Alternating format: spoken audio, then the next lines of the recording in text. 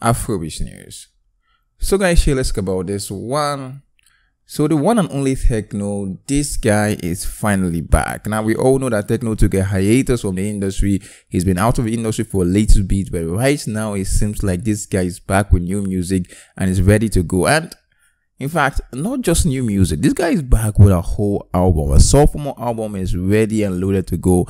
And Tekno just previewed one of the songs from the project. Now, I just heard the snippet, right? And already this song sounds like it would be a long-term banger. Anyway, with that said, guys, one other thing that you need to know about this particular single that Tekno previewed is that it samples none other than Eminem Stan. So this guy went and you know took from one of the classics, um, and he's going to give us a classic. So guys, here without more talk my part, here is Tekno himself, Big Tech Alhaji Tekno previewing one of the songs from his soon to be released sophomore album, Roll It.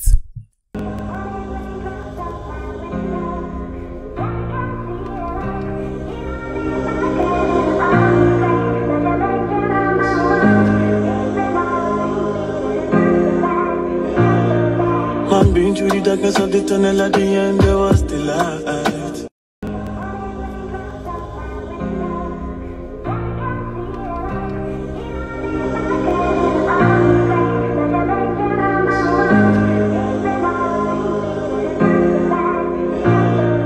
Man been through the darkness of the tunnel at the end there was the light Guys, what do you think about this particular one? I'm bearing in mind, right?